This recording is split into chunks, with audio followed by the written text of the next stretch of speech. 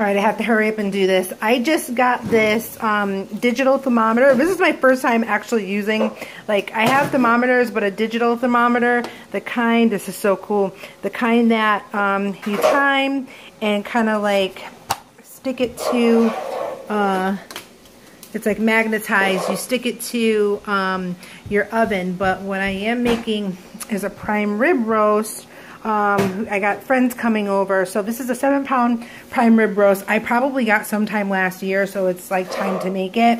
Um, I know a chef on here that, you know, specializes in meat, so please don't judge me.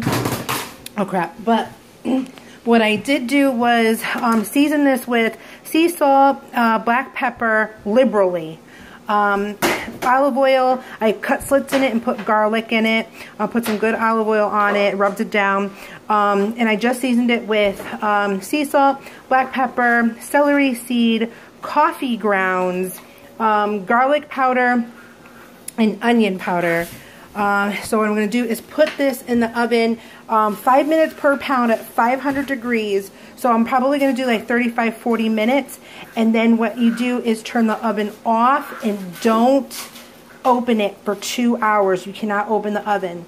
So I got the internal temperature set at um, 150 degrees because I think it was one 35 would be medium rare and um, yeah I like it that way but you know I have company I don't know if everyone else likes it that way um, but I got this at Kohl's. It was 20% um, off so it was like $27.99 and I had 30% off uh, a 30% off coupon. So, and I bought like a roasting pan and I bought like kitchen towels. So I only end up spending like the price of this, which was like $30 on everything that I bought at Kohl's just now. But I'm so excited to use this. Um, so I have it um, stuck inside the um, kind of the meatiest part of the roast, not touching any fat or bone. Um, so I better put this in now because we're supposed to eat dinner at like 4. So once this comes out, um, af after two hours, um, I'm just going to let it rest and I'm going to make my sides. I'm making like green beans and just like a quick roasted potatoes with like Parmesan. Um, we got our blinds up. They look so good. It looks so much better than the bamboo. Um, I'm also doing a cheese platter. Um, I'm letting this come out, sit out to rest because my company is coming like a half an hour.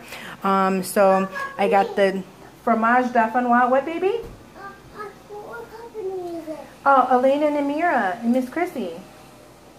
And um, I got some um, spread. It's like blackberry, cherry. I think it's Stonewall Kitchen. Some grapes. Um, this is the cheese that I got last time when we had gone out. It's probably a couple weeks old, but it's still good. But it's the cranberry. Um, oh no, I didn't get this a couple weeks ago. This is a cranberry Stilton.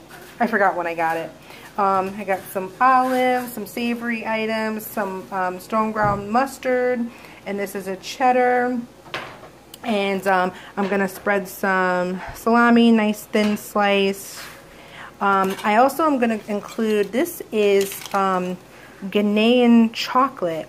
Yeah, chocolate from Ghana. I got this at Aldi for $1.99.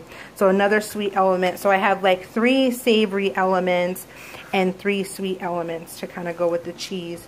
And then um, these are from Aldi too. A variety of crackers are very good. Um, so I'm going to open a bottle of red wine. Um, I have a rosé too. I might run out and get a white wine because I want a white wine too to try the different cheeses. But yeah, so that's me entertaining. I'll see you guys later. Bye.